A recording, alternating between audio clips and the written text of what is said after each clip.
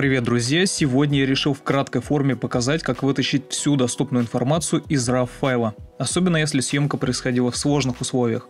Думаю, не стоит говорить о преимуществах RAW файлов, они значительно превышают возможности обычных JPEG. Итак, я буду показывать все на примере конвертера Camera Raw. Обычно люди используют конвертер таким образом, чтобы, пользуясь ползунками, вытягивать тени, гасить слишком сильные пересветы, и все это неплохо работает как для пейзажей, так и портретов, выполненных в простых условиях. Но если условия сложные или сложный свет, состоящий из нескольких источников, то лучшим способом будет работа с равом в несколько слоев. Допустим, мне хочется сделать этот снимок чуть светлее. Я пытаюсь выкрутить значение ползунков, получить более-менее сбалансированную картинку, но при этом я получаю и области, где выбивается свет. Вот эти блики становятся более активными, потому что источник света на эту область светил гораздо активнее.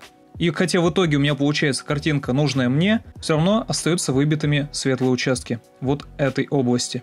К тому же дополнительно я хотел бы не только избавиться от одной проблемы, но и выделить область глаз, сделав вот эту полосу красного цвета более яркой. Конечно, для решения задач можно использовать маски, которые появились в новой версии конвертера в прошлом году, и с помощью выделения мы можем делать определенные области ярче, менять цвет, цвет, корректировать тени, контраст и так далее. Но работа с этими масками на самом деле не кажется мне очень точной. Все-таки это довольно грубый инструмент, как мне кажется, отлично подходящий для пейзажной фотографии.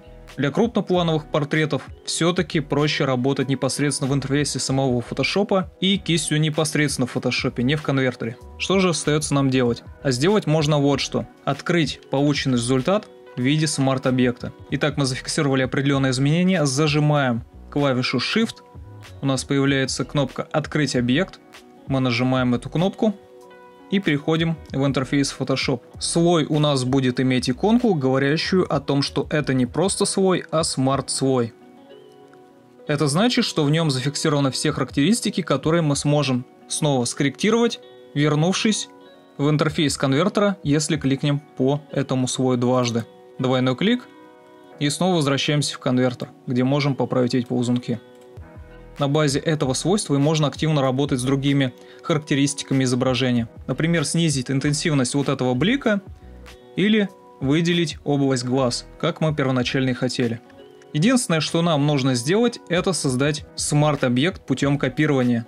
Мы вызываем контекстное меню и кликаем пункт «Создать смарт-объект путем копирования» у нас появляется копия этого слоя, также Smart слой, который отлично редактируется при двойном клике, возвращая нас в конвертер. Мы избавляемся от блика на этом участке кожи, теперь никаких пересветов нет, и нажимаем ОК. Вот такой получился второй Smart слой, второй, а это первый. Второй Smart слой с измененными характеристиками находится над первым. И для того, чтобы аккуратно поработать с конкретной областью изображения, мы для этого смарт-слоя создаем инвертированную маску, на которой и будем прорисовывать кистью ту область, которую и необходимо скорректировать. Поэтому зажимаем клавишу Alt и кликаем по значку с маской слоя. У нас появляется инвертированная маска черного цвета. Для того, чтобы поработать над этой областью, мы активируем эту маску, выбираем кисть белого цвета и снижаем ее жесткость до нуля. Определяемся с размером и аккуратно проходим. Таким простым образом мы уже избавились от этого блика, придав свойства снова смарт слоя. А теперь я хочу выделить область глаз. Для этого мне необходимо будет сделать их более яркими. Для этого я создаю еще одну копию смарт слоя. Таким же путем активирую двойным кликом, перехожу в RAW конвертер, увеличиваю интенсивность, точнее яркость области глаз, нажимаю ОК, создаю инвертированную маску зажатой клавишей Alt и иконкой и белой кистью прохожу по этой области глаз. Если нам что-то не нравится, мы справляем это черной кистью. Как я и говорил, работать получается гораздо аккуратнее масок в конвертере. Так у нас фотография выглядела до.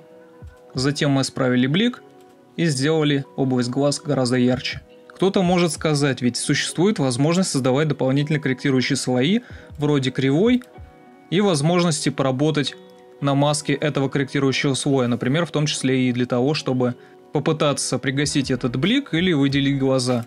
Да, это так, но как показала в том числе и моя практика, именно RAW-конвертер позволяет на начальном уровне сохранить максимальное количество информации о цвете и светотенях. И работать, если нам позволяют ресурсы, лучше всего именно на стадии RAW-конвертера и только потом переходя к дополнительным корректирующим слоям.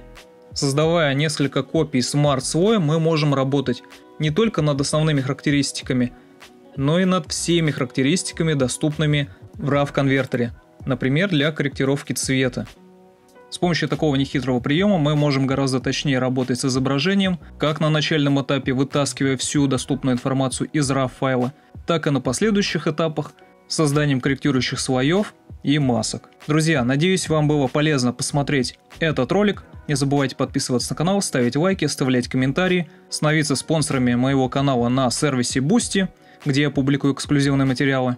Прощаюсь, Желаю хорошего дня и увидимся в следующих видео.